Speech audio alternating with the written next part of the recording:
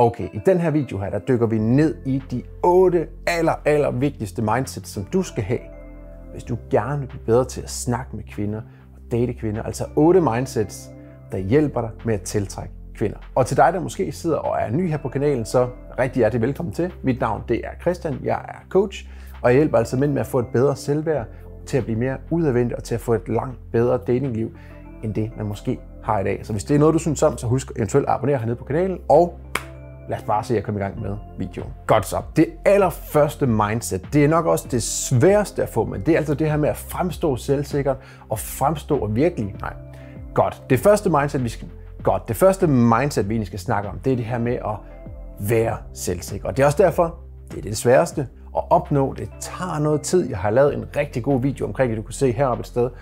Men det er altså det med at være selvsikker og fremstå selvsikker, og egentlig bare være sådan lidt afslappet, tilbagelænet, og netop vise, hey, jeg hviler faktisk i mig selv.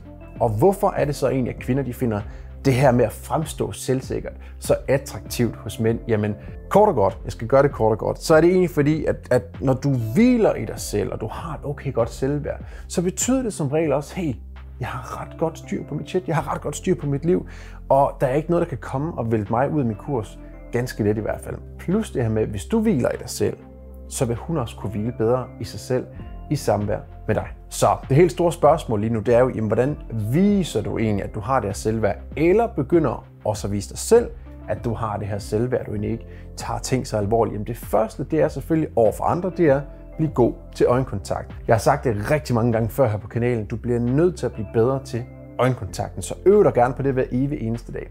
Så er der også den her med skulderen lidt tilbage og brystet en lille smule frem.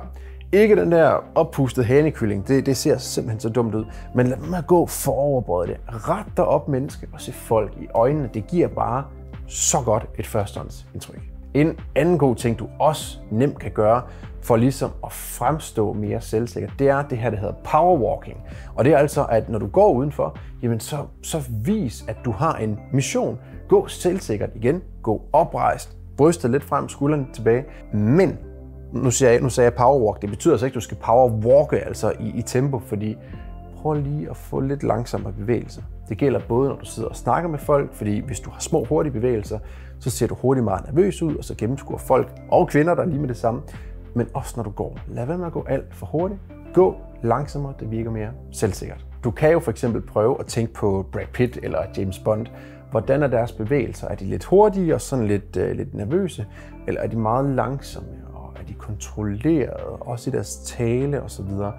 Det er helt klart det sidste. Det gælder altså om, lær at styre dit kropssprog, lær at styre din stemme, og begynd at bevæge dig langsommere for at fremstå langt mere selvsikker. Godt, det var nummer et. Mindset nummer to, det er et af mine absolut favoritter. Det er egentlig at begynde at tænke, hvordan kan jeg hjælpe andre? Hvordan, hvad kan jeg, hvilken værdi kan jeg give til andre? I stedet for det, der er mange, der gør, det er at sige, okay, hvad kan jeg få ud af det her? Eller hvordan kan de hjælpe mig? Begynde at tænke på andre i stedet for dig selv. Når du hjælper andre, så kommer det altid tilbage. Og jeg snakker ikke om, om karma og alt det fis Nej, jeg snakker bare reelt set om, når du hjælper andre, så vil de også være mere tilbøjelige til at hjælpe dig. Og det her, det er virkelig noget, kvinder også lægger mærke til det. Hun tænker, hold da op, han er bare en. For det første, så hviler han i sig selv, fordi det er nummer et. Men nummer to, så går han også virkelig op i at hjælpe de mennesker, der er omkring ham i hans liv. Eller hvis du er ude at spise med hende, eller ude at drikke en kop kaffe, hils pænt på tjeneren og sig tusind tak for god service, det var virkelig en god kaffe osv.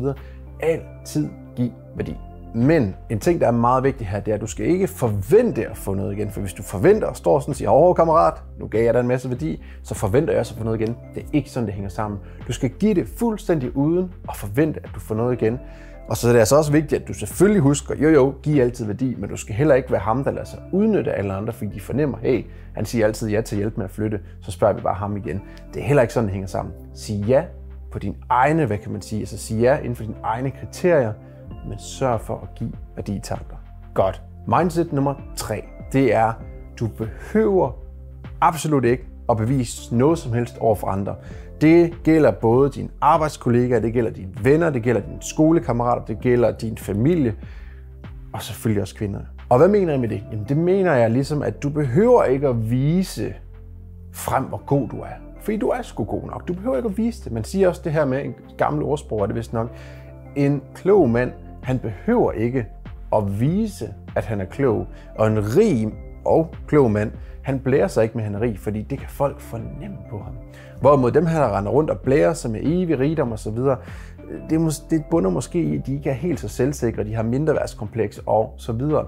Så vid, at du er god nok, fordi når du ikke længere sådan tænker over, at oh, jeg skal prøve at imponere andre hele tiden, så bliver du egentlig også mere ligeglad med, hvad andre folk de tænker omkring dig. Og det er virkelig vigtigt. Specielt når det kommer til kvinder, fordi en kvinde hun kan mærke, hvis du hele tiden craver hendes bekræftelse, hvis du hele tiden prøver at tilfredsstille hende for så at få noget igen, og hele tiden at bevise over for hende, jeg er en good guy, jeg kan gøre gode ting for dig, jeg vil være et godt potentiale som, som valg af mænd. Hvis hun hele tiden kan fornemme, at du aktivt prøver at overbevise hende, hun vil altså tænke sådan, åh, oh, for fanden, hvorfor, hvorfor prøver du så hårdt? Der er det her ord, der hedder en tryhard. Don't be a tryhard. Du er god nok, du behøver absolut ikke bevise det over for nogen som helst. Og mindset nummer 4, det er, at du fokuserer ikke kun på slutresultatet, og du ved, at alting det skal nok gå, fordi du tror virkelig på dig selv. Og også det med at tænke, at det skal nok gå, det handler altså om, at du skal blive bedre til at tage nogle chancer og, og hoppe ud i at prøve ting. Jeg synes, kvinder faktisk er enormt tiltrækkende hos mænd, når vi tør at prøve ting, i stedet for at vi altid sidder tilbage hjemme i komfortzonen.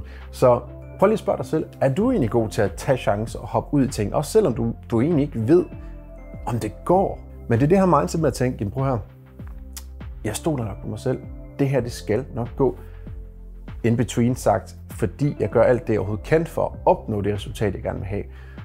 Så derfor, så skal det nok gå. Og prøv at høre, hvis det ikke går, her kommer lidt bonus mindset til mindset nummer 4. Hvis det ikke går, pyt. Så prøver jeg enten igen, eller så finder jeg en anden løsning, jeg kan arbejde på. Fordi jeg tror nok på mig selv. Og mindset nummer 5, det er, at du skal være direkte, og du skal også være ærlig.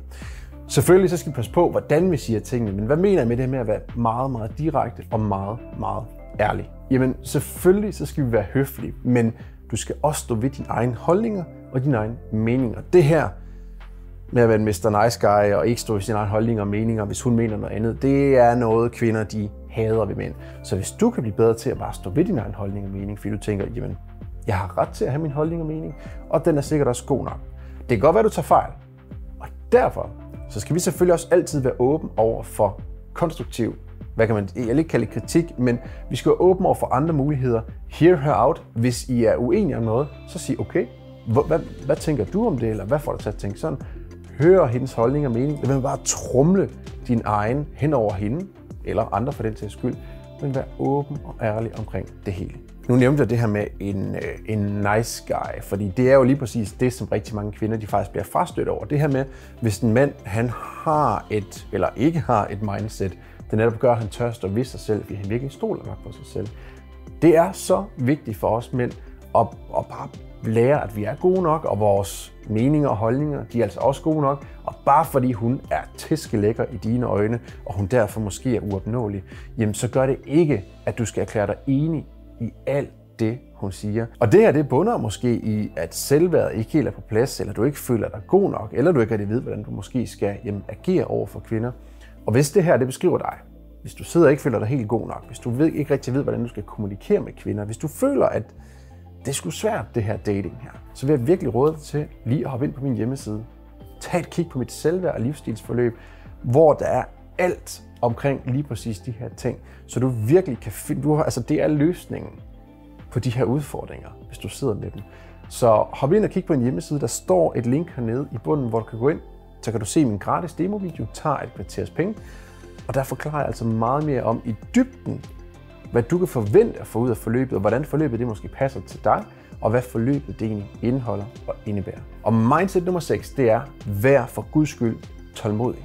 Rigtig mange mænd, de vil bare gerne frem til, hvad kan man sige, guldet for enden af regnbuen, og de, de vil gøre alt for bare lynhurtigt og enten komme i bukserne på hende, eller bare få slået en date ned, lige så snart man har matchet på for eksempel Tinder. Men det virker ikke hos kvinder. Hvis du viser hende, hey, jeg er faktisk villig til at investere tid i at lære dig bedre at kende, fordi kvinder kan godt lide at få lidt tryghed hos os mænd og vide, at vi ikke er øksemorder, vi er ikke psykopater osv. Så tålmodighed er virkelig noget, du skal have i forhold til kvinder. Også selvom nogle gange du tænker, at det giver ikke nogen mening, og hvorfor kan vi ikke bare mødes og så se, hvordan vi egentlig er. Men mange kvinder de vil godt lige se os lidt mere an på for eksempel Tinder, før de har lyst til at mødes. Ligesom mange kvinder, de vil gerne vide, at du faktisk er villig til at investere tid i dem. Du faktisk godt kan lide at være sammen med dem, før man hopper i kanen, eller før man går i et forhold. Du får absolut intet godt ud af bare at rushe tingene. Så vis at du er tålmodig. Og mindset nummer 7, vanvittigt vigtigt til dig, ikke kun i datinglivet, men også i din livsstil generelt og dit karriereliv, det er, at du er bange for at fejle. Og hvis du laver fejl, skråstrej, når du laver fejl, jamen, så lærer du bare af det. Det her med at lave fejl, det er noget af det, jeg har gjort rigtig meget af. Det er noget af det, som jeg, alle mine venner har lavet meget af, alle de klienter, jeg har i min forløb, de også har lavet rigtig, rigtig mange fejl. Og det er så vigtigt at lave fejl, fordi det er kun sådan, vi kan lære. Når du laver en fejl, så husker du virkelig på i fremtiden. Det gør jeg aldrig nogensinde igen. Så derfor, det er okay at lave fejl, så længe vi lærer af dem. Og det er lige præcis det her mindset med at sige, godt, jeg har lavet en fejl. Hvordan kan jeg forhindre, at det sker igen? Hvad kan jeg tage med mig til næste gang? Men hvis du sidder og er bare bange for at lave fejl, og netop derfor faktisk holder dig selv tilbage fra at hoppe ud i noget nyt, eller faktisk prøve nogle ting, så kommer du sgu ikke nogen vejen. Så det, det, det her med at lære, det er helt okay at lave fejl.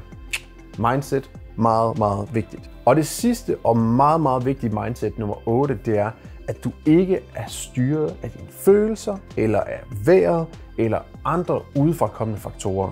Fordi hvad sker der egentlig, hvis du netop er styret af det her? Det kan være din, dit humør, du vågner op og har en dårlig dag. Okay, så er det en dårlig dag og en dårlig uge måske, så har du spildt din tid der.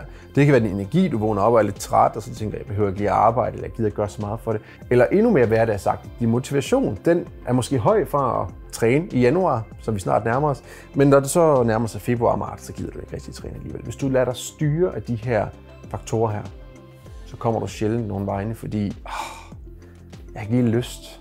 Jeg føler ikke lige for det. Prøv at, dine følelser, det er absolut ikke dine venner. Det er det her med at udvikle god disciplin igennem nogle rigtig gode vaner. Det har jeg lavet en video om her, du kan prøve at se.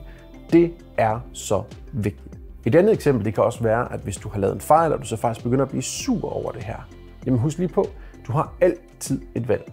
Du kan ikke styre, hvad der sker for dig i livet altid, men du kan altid styre din reaktion på det. Det lyder meget, meget klogt, men det er det faktisk også. Du kan altid styre din egen reaktion på en eller anden begivenhed. Vil du blive sur over det? Vil du lade det ødelægge din dag? Eller vil du lade os sige, oh, det var irriterende, men pyt. Jeg gør det bedre næste gang. Jeg kan klart anbefale det sidste. Og vigtigst af alt, hvorfor er det lige, at det her det er så vigtigt i forhold til det med kvinder? Jamen det viser en kvinde, hey, jeg er voksen nok til at styre mig selv. Jeg har ikke et temperament, jeg flipper ikke ud over små latterlige ting, men selvom der sker en stor, farlig ting i livet, så kan jeg faktisk stadigvæk kontrollere mig selv, fordi jeg hviler i mig selv, og jeg gider heller ikke bruge tid og energi på at flippe ud. Godt, så det her det var altså otte enormt vigtige mindsets, som jeg virkelig vil anbefale dig at få plottet ind herop. Se videoen igen, tag nogle noter, begynd at arbejde på dem hver evig eneste dag. Og ja, det kræver hårdt arbejde det her. Det er desværre bare sådan, det er. Men igen, se videoen, knokle på hver eneste dag. Det tager noget tid at få implementeret. Det er ikke bare sådan her, det lige skifter. Og gør nu noget. Gå ud og tag noget action. Lad mig bare se de her videoer, og så tænker, at det kommer nok af sig selv en dag. Det, det kommer ikke. Der skal arbejdes hårdt for det. Tak fordi du så med her. Husk at smide sådan en her på videoen, hvis du synes, det gav mening, og du fik noget ud af det. Og så ses vi igen i næste video.